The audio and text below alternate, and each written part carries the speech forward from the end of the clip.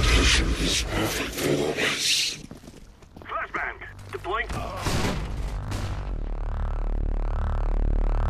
The guy's out.